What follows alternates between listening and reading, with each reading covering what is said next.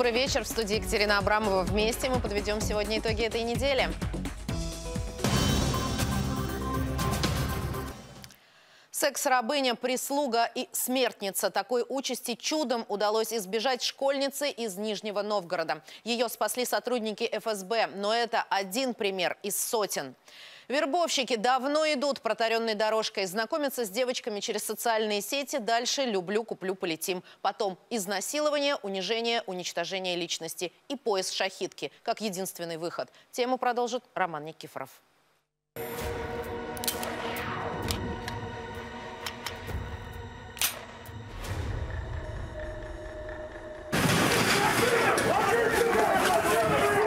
Спецназ ФСБ ставит точку в истории о большой и чистой любви.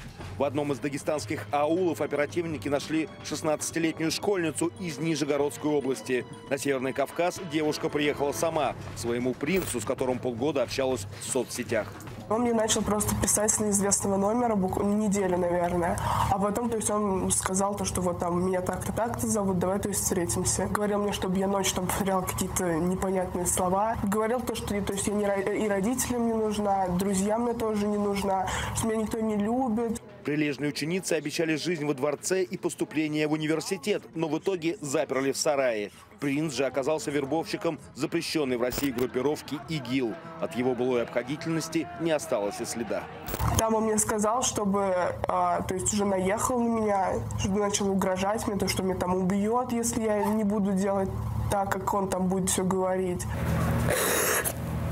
В отношении молодых женщин ведется а, целенаправленная обработка, в результате которой а, они теряются как личности. Зачастую террористы используют таких женщин как э, смертниц, э, прислугу, секс-рабынь.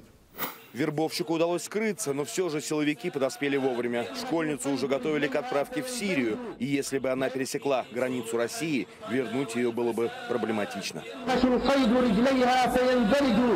Столичный предприниматель Мансур Исмаилов родом из Чечни. У него четверо дочерей, которых он воспитывал в духе традиционного ислама. Одна из них, Мариам, с отличием закончила первый курс президентской академии народного хозяйства.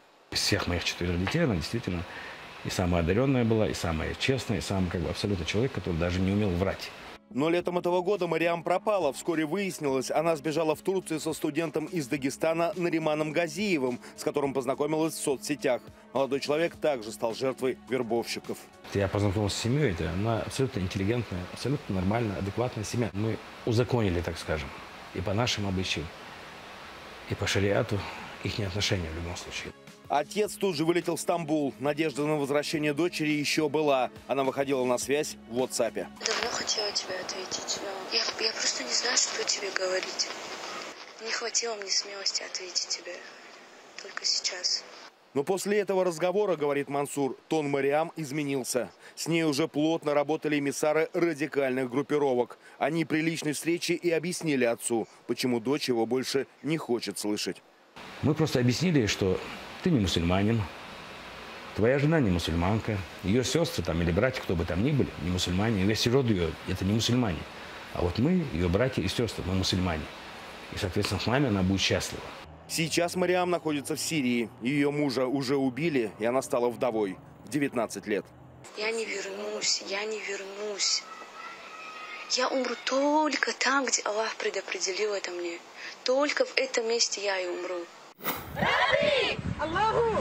Сегодня радикалы вербуют новых сторонниц по всему миру по одной и той же схеме. Сначала в дело вступают наводчики, мониторят соцсети, сайты, знакомств, ищут бунтарей, недовольных или просто девушек с личными проблемами. Дальше подключаются так называемые мотиваторы.